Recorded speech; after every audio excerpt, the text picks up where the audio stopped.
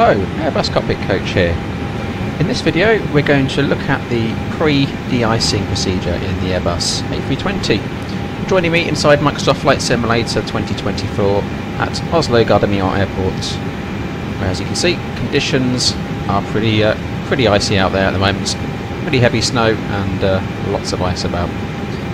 Currently, uh, what have we got? Minus 5. So, uh, well inside icing conditions when operating in winter conditions, ensuring your aircraft is free of ice and snow is critical for safety.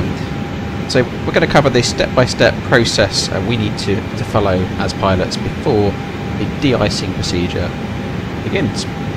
Uh, we just push back off stand here and the first thing we'd do differently is not set takeoff flaps or trim as uh, part of our flows if we need to de-ice.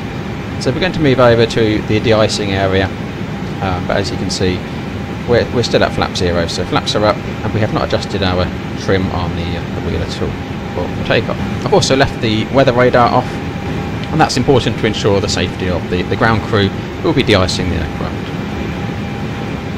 So I'm going to taxi round to the de-icing area now. Taking it very slowly in these conditions we really don't want to be moving uh, too much above 10 knots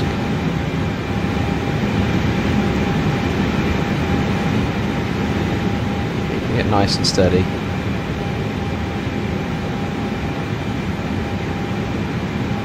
We do need to pay particular attention to uh, keeping our speed down in turns as well.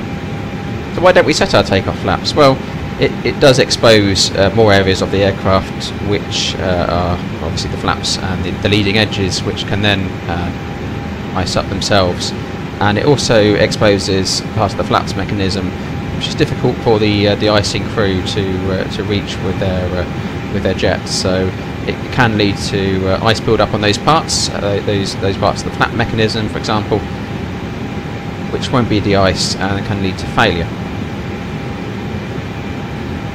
So we want to leave that till we're de-iced. There's also a lot of standing snow here at, at the airport, and we don't want to be uh, throwing that up into our flaps where it may get stuck in between uh, mechanisms and, bits underneath the, the wings which uh, are not so easy to de-ice. We're just pulling up onto our de-icing pad here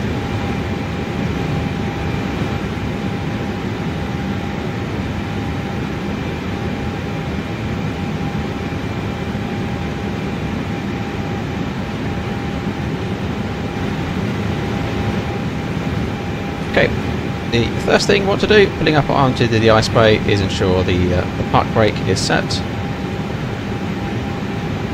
Then we want to establish comms with the uh, de-icing crew on the, on the ground, so uh, that's, that's obviously key, we need to be speaking to them. So we can let them know the status of our aircraft, when we're ready for de-icing, and uh, when they're finished, and get our de-icing report at the end. Next thing we want to do is come up and check that the uh, cabin pressure system is straight up here in auto, which it is. Once that's confirmed, we'll take engine 1 bleed off and engine 2 bleed off. We also want to confirm that the APU bleed is also off at this stage. We'll then come just to the right of the cabin pressure switches unguard the ditching switch and turn that on. And then we want to come down to the uh, lower ECAM and we want to confirm that all our inlets and outlets are closed and also on the bleed page that all our bleeds are off. So APU bleed and engine 1, engine 2 bleed are all off. Then we want to make sure our thrust levers are at idle, which they are. Then we can clear the ground crew over comms on the intercom there to uh, start their procedure outside in terms of uh, start applying the de-icing fluid. So we have the master caution here, that's associated to uh, the bleeds 1 and 2 being off, so cancel that. Here come our de-icing trucks, nicely simulated by uh,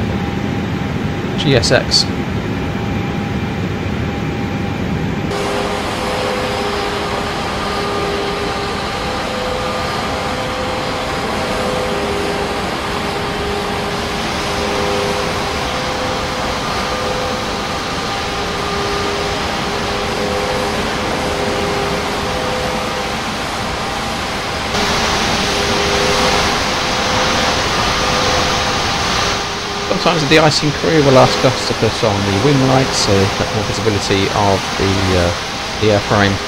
Uh, they obviously do have lights themselves on the equipment they use and uh, there are some standing lights around uh, this facility uh, although they won't have much effect in today's conditions so we may be asked to do that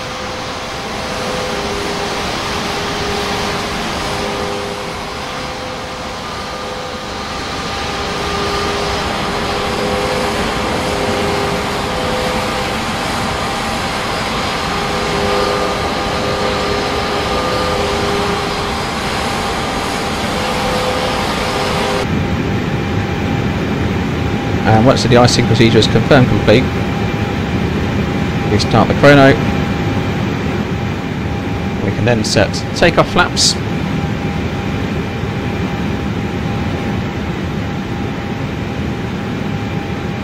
Also set our takeoff trim. And then we come to the overheads. We want the uh, ditching button off and guard that again down to the uh, the pressure page. Check we've got the outflow open, which it is. So after one minute has elapsed, we can get the engine bleeds back on. Engine bleed one and engine bleed two on, and we'll come down and confirm those on on the bleed page. If you do require the APU bleed, you want to wait at least uh, five minutes before uh, use of the, uh, the APU bleed after the icing. Slightly more risk uh, in terms of ingesting the fluid into the system, causing fumes in the cabin with the APU. Once that's all complete, we can contact air traffic control and continue with normal procedures, um, heading out to the runway for our departure that's the procedure, and that's but that's really important.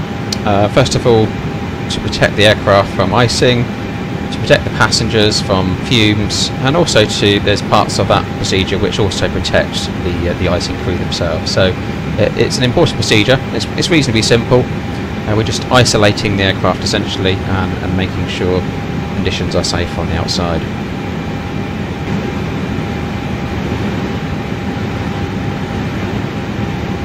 GSX will give you a de-icing report and you must get a de-icing report once uh, de-icing has been completed uh, so you know your holdover time and we'll discuss that in more detail in a different video because there's a, lot to that. It's quite a, uh, a, vast subject in terms of the different fluids that are applied, different circumstances when we use them and how long that protects the aircraft for.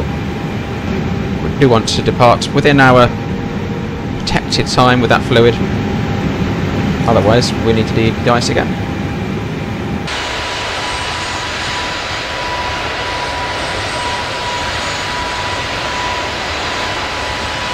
Hope you found that video useful.